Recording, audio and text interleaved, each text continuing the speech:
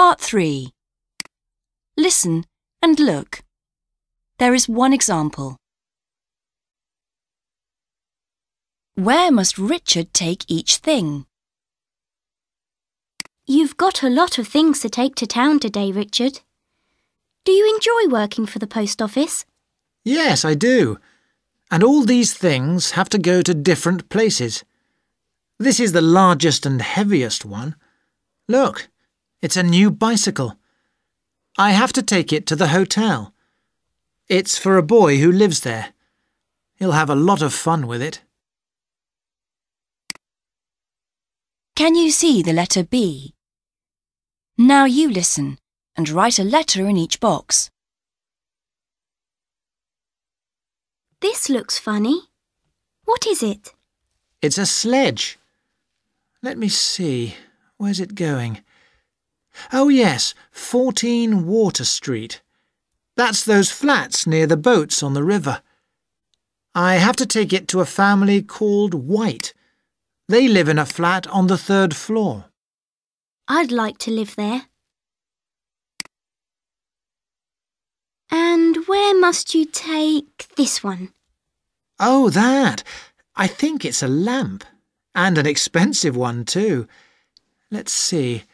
Where's the address? Oh, here it is. It's for Mr. Cave, the artist. He lives above the chemist's in Green Street. I think I'll go there first. And that's a strange thing to post. What is it? It's very big. It's a toy dinosaur. It is big, but it's not heavy. The zoo sent it. I have to take it to the school. The children will love it, I'm sure. And what about this one? Where must you take that? Oh, yes, I mustn't forget that one. Look, it says important next to the address. It's a bottle of something for someone that works at the airport. Perhaps it's medicine. The address is difficult to read, but I'll find her office. And what else have you got to do today? Well, last of all, I have to take this to the hospital. It's for one of the doctors there. It's a postcard from his parents. I know because I read it. they say they're having a great time and they don't want to come home. But now I must put all these things in my truck. Where are my keys? Here they are. Now listen to part 3 again. this looks funny. What is it? It's a sledge. Let me see. Where's it going? Oh, yes, 14 Water Street. That's those flats near the boats on the river. I have to take it to a family called White. They live in a flat on the third floor. I'd like to live there. And where must you take this one? Oh, that. I think it's a lamp. And an expensive one, too. Let's see. Where's the address? Oh, here it is. It's for Mr. Cave, the artist. He lives above the chemist's in Green Street. I think I'll go there first.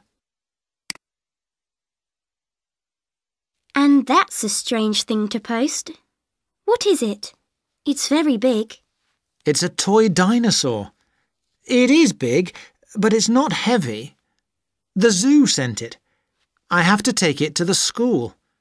The children will love it, I'm sure. And what about this one? Where must you take that?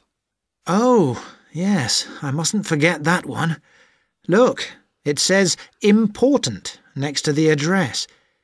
It's a bottle of something for someone that works at the airport. Perhaps it's medicine. The address is difficult to read, but I'll find her office. And what else have you got to do today? Well, last of all, I have to take this to the hospital. It's for one of the doctors there. It's a postcard from his parents. I know because I read it. they say they're having a great time and they don't want to come home.